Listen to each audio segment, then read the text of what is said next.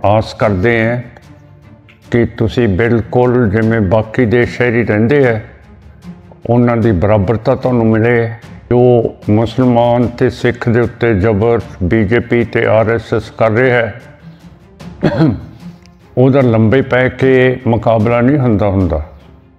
ਉਹਦੇ ਨਾਲ ਸਿੱਧੇ ਹੋ ਕੇ ਮੁਕਾਬਲੇ ਹੁੰਦੇ ਹੁੰਦੇ ਆ। ਇਹ ਜਿਹੜਾ ਧਾਰਮਿਕ ਤੌਰ ਦੇ ਉੱਤੇ, ਘੱਟ ਗਿਣਤੀਆਂ ਦੇ ਉੱਤੇ ਹਮਲੇ ਹੋ ਰਹੇ ਆ ਇਹ ਆਪਾਂ ਨੂੰ ਇਕੱਠੇ ਹੋ ਕੇ ਏਕਤਾ ਕਰਕੇ ਇਸ ਦਾ ਹੱਲ ਲੱਭਣਾ ਚਾਹੀਦਾ। ਅਸੀਂ ਤੁਹਾਨੂੰ ਵਿਸ਼ਵਾਸ ਦੇਣਾ ਚਾਹੁੰਦੇ ਹਾਂ ਕਿ ਤੁਸੀਂ ਬਿਲਕੁਲ ਘਬਰਾਉਣਾ ਨਹੀਂ। ਅਕਾਲੀ ਦਲ ਅੰਮ੍ਰਿਤਸਰ ਇੱਕ ਇਹੋ ਜਿਹੀ ਪਾਰਟੀ ਹੈ ਜਿਹੜੀ ਕਿਸੇ ਦੀ ਵੀ ਘੱਟ ਗਿਣਤੀ ਦੀ ਪਿੱਠ ਨਹੀਂ ਲੱਗਣ ਦਿੰਦੀ ਤੇ ਅਸੀਂ ਹਮੇਸ਼ਾ ਘੱਟ ਗਿਣਤੀਆਂ ਦੇ ਲਈ, ਮਨੁੱਖਤਾ ਦੇ ਲਈ ਖੜੇ ਰਹਿੰਦੇ ਹਾਂ।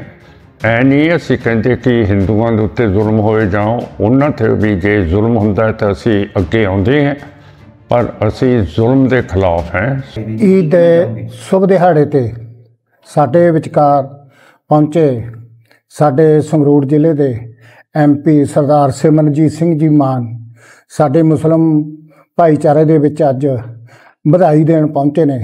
ਅਸੀਂ ਸਮੂਹ ਮੁਸਲਮ ਭਾਈਚਾਰਾ, ਉਹਨਾਂ ਦਾ ਆਪਣੇ ਦਿਲ ਦੀਆਂ ਗਹਿਰਾਈਆਂ ਚੋਂ ਬੜੇ ਸਤਿਕਾਰ ਨਾਲ ਉਹਨਾਂ ਨੂੰ ਜੀ ਆਇਆਂ ਕਹਿੰਦੇ ਆ ਤੇ ਉਹਨਾਂ ਦੇ ਸਤਿਕਾਰ ਵਜੋਂ ਅਸੀਂ ਆਪਣੀਆਂ ਪਲਕਾਂ ਵਿਛਾ ਦਿਆਂਗੇ। ਆਉਣ ਵਾਲੇ ਸਮੇਂ ਦੇ ਵਿੱਚ ਵੀ ਜਿਸ ਤਰ੍ਹਾਂ ਉਹ ਘੱਟ ਗਿਣਤੀਆਂ ਦੀ ਰਖਵਾਲੇ ਬਣ ਕੇ ਉਭਰੇ ਨੇ ਜਾਂ ਪਿਛਲਾ ਸਾਰਾ ਜੀਵਨ ਉਹਨਾਂ ਨੇ ਘੱਟ ਗਿਣਤੀਆਂ ਦੀ ਰਾਖੀ ਦੇ ਲਈ ਆਪਣਾ ਲਾਇਆ ਹੈਗਾ।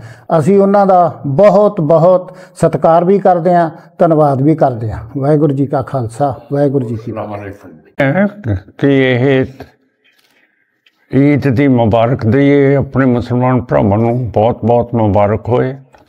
ਤੇ ਅਸੀਂ ਤੁਹਾਡੀ ਚੜ੍ਹਦੀ ਕਲਾ ਮੰਗਦੇ ਹਾਂ। ਅੱਲਾ ਤੋਂ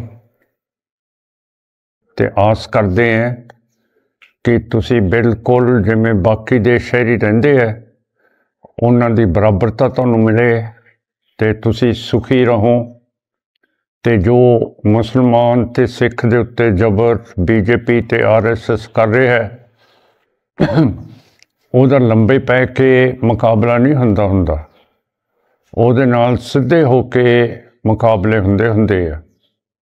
ਤੇ ਇਹ ਜਿਹੜਾ ਧਾਰਮਿਕ ਤੌਰ ਦੇ ਉੱਤੇ, ਘੱਟ ਗਿਣਤੀਆਂ ਦੇ ਉੱਤੇ ਹਮਲੇ ਹੋ ਰਹੇ ਆ, ਇਹ ਆਪਾਂ ਨੂੰ ਇਕੱਠੇ ਹੋ ਕੇ, ਏਕਤਾ ਕਰਕੇ ਇਸ ਦਾ ਹੱਲ ਲੱਭਣਾ ਚਾਹੀਦਾ। ਜਿਵੇਂ ਕਸ਼ਮੀਰ ਦੇ ਵਿੱਚ, ਕਸ਼ਮੀਰ ਦਾ ਜਿਹੜਾ ਸੂਬੇ ਦਾ ਦਰਜਾ ਸੀਗਾ, ਉਹ ਹਟਾ ਕੇ ਯੂਨੀਅਨ ਟੈਰੀਟਰੀ ਕਰਤਾ ਹੈ। 5 ਸਾਲ ਤੋਂ ਉਹਨਾਂ ਦੀ ਜਮਹੂਰੀਅਤ ਖਤਮ ਕਰਤੀ ਹੈ। ਉਹਨਾਂ ਦੀ ਅਸੈਂਬਲੀ ਭੰਗ ਕਰਤੀ ਹੈ। ਇਸ ਤਰ੍ਹਾਂ ਸਿੱਖਾਂ ਦੀ ਜਿਹੜੀ ਐਸਟੀਪੀਸੀ ਸਾਡੀ ਪਾਰਲੀਮੈਂਟ ਹੈ, ਉਹਦੇ ਇਲੈਕਸ਼ਨ 14 ਸਾਲ ਤੋਂ ਨਹੀਂ ਸੈਂਟਰ ਦੀ ਸਰਕਾਰ ਕਰ ਰਹੀ। ਸੋ ਇਹ ਸਾਰੀਆਂ ਚੀਜ਼ਾਂ ਹੈਗੀਆਂ ਜਿਹਦੇ ਨਾਲ ਸਾਨੂੰ ਇਹ ਸ਼ੱਕ ਪੈਂਦਾ ਕਿ ਵੱਧ ਗਿਣਤੀ ਨੇ ਸਾਨੂੰ ਨਾਲ ਲੈ ਕੇ ਚੱਲਣਾ ਹੈ, ਇੱਕ ਲਹਿਦਾ ਰੱਖਣਾ ਹੈ, ਇੱਕ ਦਬਾ ਕੇ ਰੱਖਣਾ ਹੈ। ਜਿਹੜੀ ਜਮਹੂਰੀਅਤ ਹੁੰਦੀ ਹੈ, ਉਹਦੇ ਵਿੱਚ ਵੱਧ ਗਿਣਤੀ ਘੱਟ ਗਿਣਤੀ ਨੂੰ ਨਾਲ ਲੈ ਕੇ ਚੱਲਦੀ ਹੈ।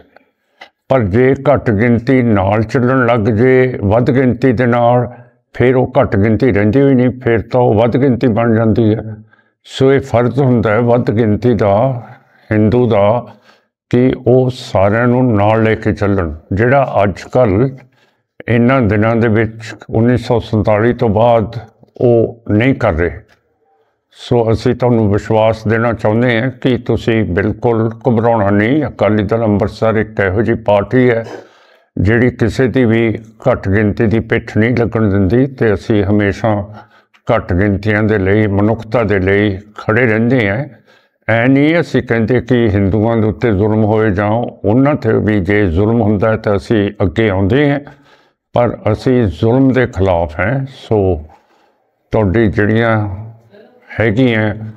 ਤੁਹਾਡੇ ਕਬਰਸਤਾਨ ਦੀ ਚਾਰ ਦੀਵਾਰੀ ਨਹੀਂ ਬਣੀ। ਇਹ ਮੈਂ ਸਮਝਦਾ ਤੁਹਾਡਾ ਕਸੂਰ ਹੈ, ਕਿਉਂ ਕਰਕੇ ਸਾਡੇ ਵੱਲੋਂ ਤਾਂ ਅਸੀਂ ਕੋਸ਼ਿਸ਼ ਕੀਤੀ ਹੈ ਕਿ ਜਿੰਨੀਆਂ ਵੀ ਇਹ ਕਬਰਸਤਾਨ ਹੈ ਕਿ ਮੁਸਲਮਾਨਾਂ ਦੇ, ਉਹਨਾਂ ਦੀ ਕਬਰਸਤਾਨ, ਉਹਨਾਂ ਦੀ ਚਾਰ ਦੀਵਾਰੀ ਬਣ ਜੇ।